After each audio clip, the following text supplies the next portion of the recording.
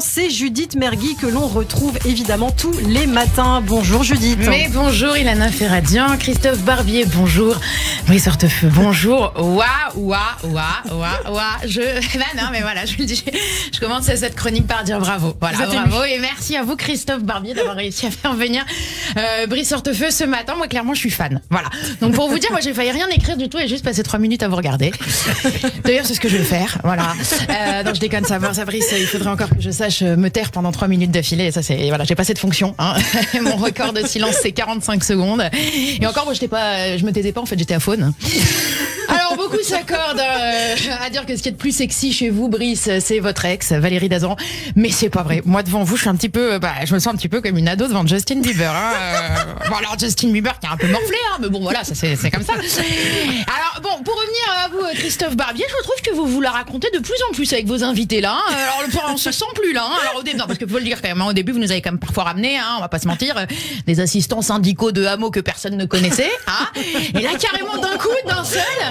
Brice Hortefeux, comme ça. Alors, qui est l'équipe prochaine La Churchill Non, mais je veux dire, vous voulez quoi, Christophe? Que l'audimat augmente Qu'on devienne la première radio de France? Ah, là, là. Non, non, vous prenez le melon, calmez-vous, Christophe.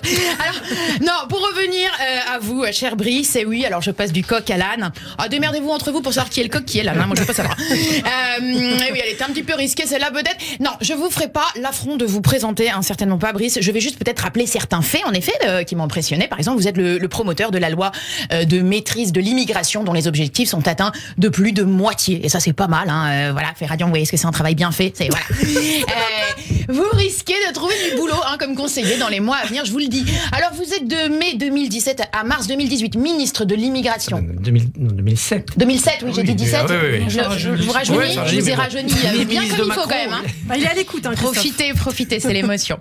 Alors oui, donc on disait 2007 à 2008, euh, ministre de l'immigration, de l'intégration, de l'identité nationale et du co-développement.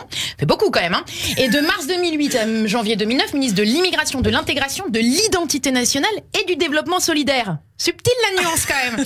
Mais ça, je connais Brice. Je sais très bien ce que vous avez essayé de faire. C'est pour le conseiller Pôle emploi. Histoire de montrer un petit peu que vous évoluez avec le CV, la carrière, tout ça. Je connais, je connais. Alors en juin 2009, euh, vous devenez ministre de l'Intérieur et vous êtes, comme vous le dites, chargé d'établir le droit à la sécurité partout et pour tous. Mel Gibson, après, va, va vous pomper le slogan, euh, à la fois bah, pour son nouveau film et pour sa campagne électorale. Hein. Alors lui, il va le faire en anglais, bien sûr, que Ferradian va nous traduire par la sécurité pour tous. Voilà. Et donc, vous êtes également député euh, européen, conseiller régional. Vous êtes même un ministre fictif dans un roman de euh, politique fiction. Ministre, dans, ministre dans un roman, ministre fictif, c'est pas mal parce que tu peux promettre ce que tu veux et pas le faire. Ouais, enfin, ministre en vrai aussi, tu me diras. Bon, non, alors, on va pas parler de vous, on peut pas hein, aujourd'hui parler de vous sans évoquer les affaires juridiques, médiatiques qui vous entourent. Mais bon, moi, ça me gonfle un peu tout ça, on connaît. Alors, j'ai, il y a un épisode vraiment que j'ai kiffé, bref, je vous le dis, c'est quand un agent de sécurité va vous poucave complètement en affirmant avoir dû conduire votre mère, votre épouse et vos trois enfants, chose qu'il n'était pas censé faire.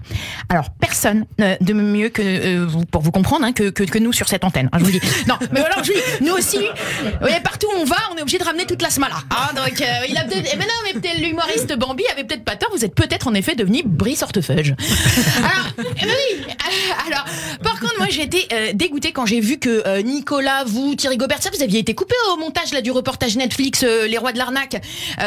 quoi? Ah, ah, ah c'est pas, ah, pas la même affaire. D'accord. Ok. Ah non, d'accord, parce que celle dans celle-là, vous vous parliez bien trop bien français, quoi, en fait. Hein, euh, pour y apparaître à, côté de, Marco Mouli. Alors, vous êtes également euh, un précurseur puisque vous avez lancé la mode des scandales par SMS. Alors après, suivi quand même euh, de ceux de... de, oui, bon, c'était le fameux SMS avec Rachida Dati. Hein, pareil, on connaît. Vous êtes suivi après par les scandales quand même de SMS de Darmanin, puis de Macron avec l'Australie, Macron et Véran. Dis les gars, à l'Elysée, là, je sais pas quel opérateur téléphonique vous avez, mais un petit forfait familial chez Soch, c'est peut-être pas une mauvaise idée. Hein, voilà. Alors, on peut... bon, on peut le dire, hein, même, euh, même Madame Dati elle-même dit que ça s'est arrangé entre vous, mais c'est vrai qu'à l'époque, c'était quand même allé un peu assez loin. Hein, la télé, réponse, médias interposés, Booba et Caris à côté, c'est des fillettes. Hein. Alors, euh, pareil, dans l'épisode dans les, dans des restaurants clandestins, vous, disiez, vous, vous dites avoir été un incompris Vous dites que pour euh, éviter justement de recevoir du Hamel dans votre bureau, on vous aurait parlé d'un club avec un, traiteur et que vous auriez été abusé puisque vous pensiez que c'était un déjeuner légal. Et moi, je vais vous dire, je, vous comprends. J'ai eu un petit peu le même problème parce que moi, pour être sympa et respectueuse et éviter de fumer au bureau, bah, je suis sortie et j'ai été prendre du crack à Stalingrad. Donc je me déplace quand même dans le froid. Tout ça, tout ça. Et euh, bah, même là, on me tombe dessus. Donc il y en a marre. Ce sont des ingrats, c'est tout. Voilà. Alors pour la prochaine présidentielle, euh, vous apportez votre soutien à Valérie Pécresse. Vous dites d'elle qu'elle est tenace, coriace, efficace. On dirait que vous parlez d'un détergent. Avec Pécresse, on dégraisse, tu vois. Donc, non, voilà. Et alors bon, alors j'ai plus le temps parce que Monsieur Barbier doit prendre la parole. Donc tant pis, j'avais encore plein plein de choses à, à vous dire. Moi, ce que j'espère, c'est que vous allez faire un, un peu un comeback, un peu à la française, comme un rat pack avec De Niro, Morgan Freeman et tout ça. Là, on mettrait, euh, euh, ben, je sais pas moi. Allez, tiens, euh, DSK à la flûte, vous au chant, et puis vous nous faites, voilà, vous nous faites, et puis allez, Hollande aux claquettes. Allez, c'est parti. Vous faites- Merci. un groupe. Merci beaucoup, Judith Merguig. Calmez-vous quand même, Judith. Ce matin, je vous, ai, je vous sens bien agitée là. Comme tous les matins, Et oui, finalement. comme tous les matins. On vous retrouve demain matin, Judith, tout de suite. C'est donc l'invité de Christophe Barbier, Brice Hortefeux, député européen LR et ancien ministre.